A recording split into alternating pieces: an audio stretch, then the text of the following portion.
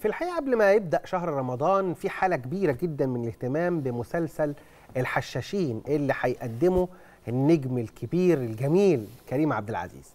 الحشاشين قصة طويلة وتاريخية أحداثها مشوقة جدا بتمثل تحدي كبير للنجم كريم عبد العزيز لأن شخصية حسن الصباح اللي بيقدمها في المسلسل هي من الشخصيات المثيرة للجدل في التاريخ الإسلامي. تعالوا نشوف نبذة سريعة جدا عن هذا المسلسل وعن هذه الشخصية ونرجع نحلل ما سيحدث تاريخيا.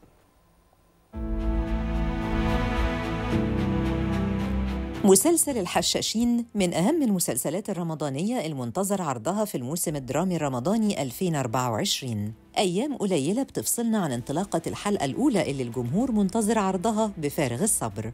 قصة تاريخية أحداثها مشوقة جداً بدأت في القرن ال11 مع زعيمها حسن الصباح أخطر شخصية في التاريخ. اشتهر بتنفيذ عمليات اغتيال دموية لشخصيات مرموقة في مرحلة تاريخية مهمة. والشخصية اللي هيجسدها في المسلسل النجم الكبير كريم عبد العزيز. أنا عايز الرعب يملى القلوب. وعايز كل اللي يعترض على دعوتنا يقتل بأبشع الطرق. شخصية كان كل همها في الوقت ده نشر دعوته وكسب أنصار والبحث عن مكان مناسب يحميه من أي مطاردة. مكان قدر يلاقيه فعلاً وحوله القاعدة علشان ينشر دعوته وأفكاره لحد ما لقاه فعلاً. تخيل مؤمن واحد من قلعة ألموت بخنجر وإيمان. كفيل إنه يهد دولة راسخة بقالها سنين عندها جيش ومال. في اللحظة اللي ظهر فيها البرومو بدأ الجمهور يخش ويبحث ويفتش عن معلومات بخصوص الطائفة دي وإيه اللي عملته بالتحديد وقت ظهورها.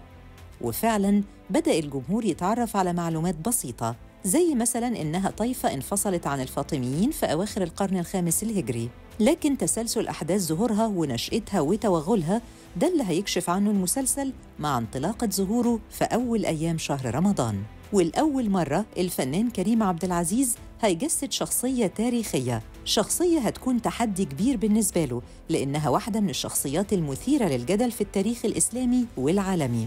دور هيكون عليه رهان كبير من نجم وفنان مصنف إنه الأكثر تحقيقاً للإيرادات في تاريخ السينما المصرية والعربية. خصوصاً إنه هيقدم دور الشر للمرة الأولى في مشواره الفني. وبيشارك في بطولة المسلسل مع النجم كريم عبد العزيز الفنان فتحي عبد الوهاب وميرنا نور الدين وأحمد عيد وإسلام جمال ونيقولا معوض وسامي الشيخ وعمر الشناوي ونور إيهاب وسوزان نجم الدين وياسر علي ماهر. والعمل من تأليف عبد الرحيم كمال ومن إخراج بيتر ميمي.